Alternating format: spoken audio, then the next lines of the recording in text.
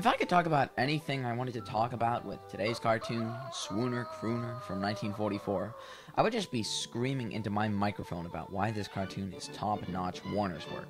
So today we'll be doing a fast fact sort of thing. My thanks in advance to Keith Scott for some of the help with the info here. Fact number one.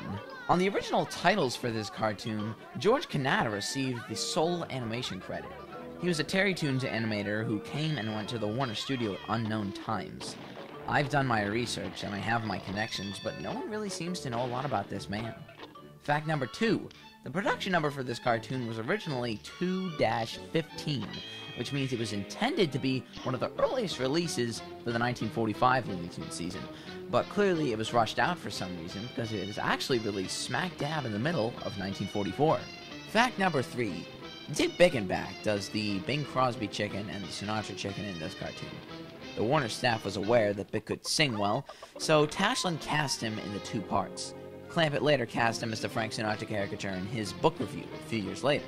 Bickenbach was animating for Friz Freleng at the time, and shortly afterwards he would join the Tashlin unit to work on some of Tash's last Warner cartoons. Fact number 4. A guy named Sammy Wolf does the Al Jolson, Nelson Eddy, and Jimmy Durante chickens in this cartoon.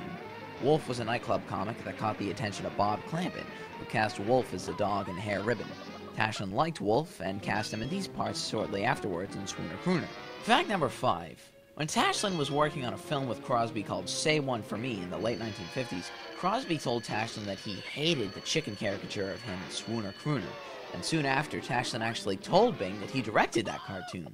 Fact number 6. The length of an original film print for this cartoon was 676 feet in length, and would have lasted 7 minutes and 31 seconds long, 8 seconds longer than the blue ribbon print that we see on all the official home video releases today.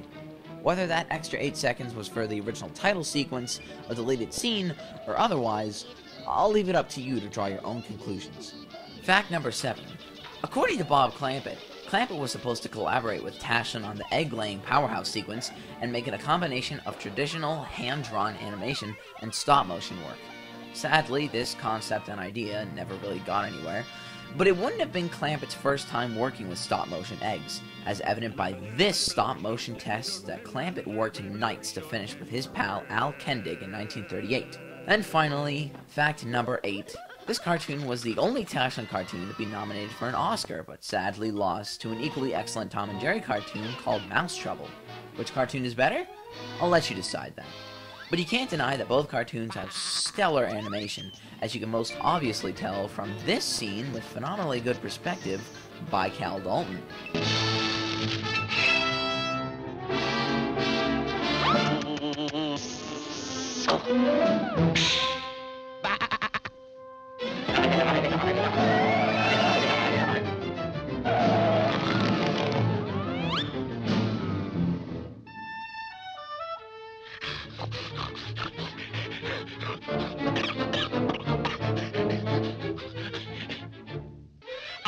I hope you liked today's episode, gang. We'll be back here Monday for more freeze framing and facts, so I'll see you then.